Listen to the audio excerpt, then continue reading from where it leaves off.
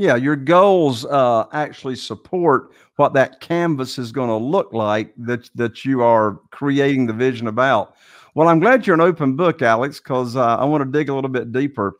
Uh, will you share with me and the audience uh, a couple of examples of what your vision is for your life and for yourself, and how that's playing out? What are some of your like priorities that you put in place, and you know what's part of your vision look like?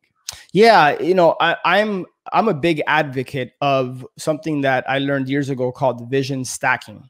And vision stacking is when you can look at your vision once you've outlined what you want your life to look like in the different areas when you could start to stack visions and kind of accomplish and kill one you know one bird with or, kill two birds with one stone as they say so holiday mastermind is a perfect example of that holiday mastermind you know like you said in the intro it, it takes place in a world-class setting. So what is vision stacking?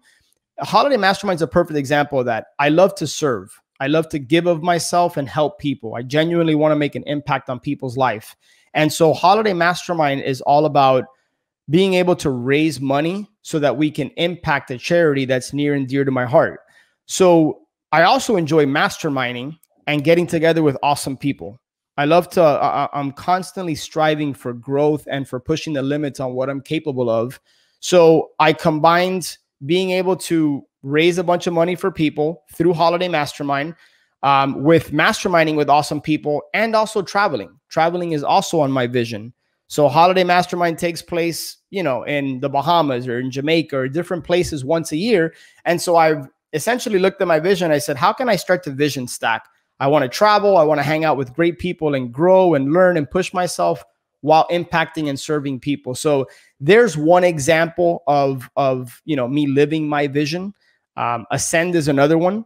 You know, uh, Ascend is a you know it's a successful business, but the goal of that business is not to make a bunch of money every single month. The goal of that business is to impact and work with high level entrepreneurs.